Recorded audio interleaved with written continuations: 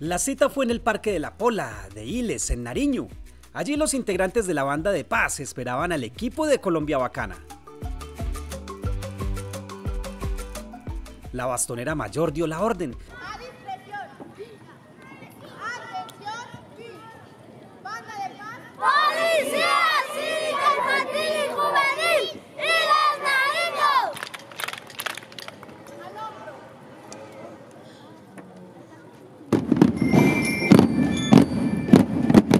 Y empezaron a retumbar los tambores, redoblantes y las liras, que estos niños hacen vibrar con emoción.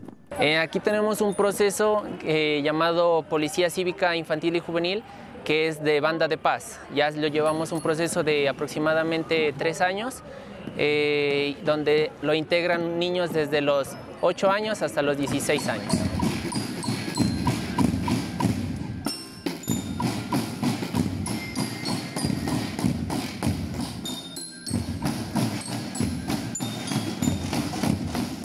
Sea, yo me metí aquí porque en mi casa yo no sabía qué hacer.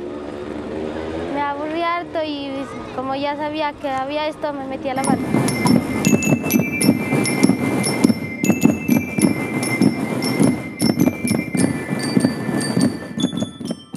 Como Diego se han involucrado en esta iniciativa decenas de niños del municipio con un objetivo primordial, y emplear mi tiempo libre en algo productivo.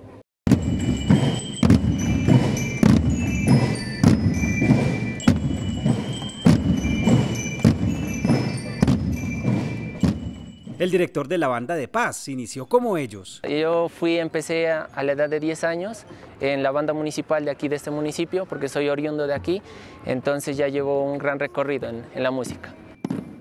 Empezar primero con percusión, eh, lo que están ellos, como es banda de paz, y después ya con instrumentos de viento, y después pues ya hacer mis estudios especializados en, en la cuestión de música.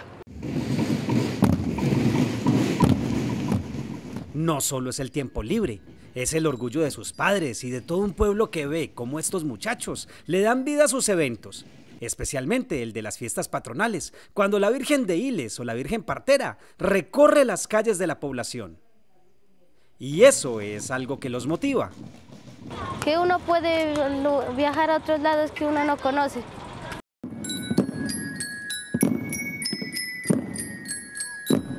Estos espacios se repiten en Nariño y en otros departamentos del país, con estas bandas que inspiran paz.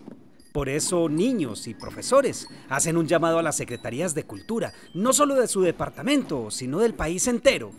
Y que sigan apoyando estos espacios, pues porque realmente la cultura a veces la echamos a un lado, entonces debemos apoyar más a la cultura y a la niñez de nuestro municipio.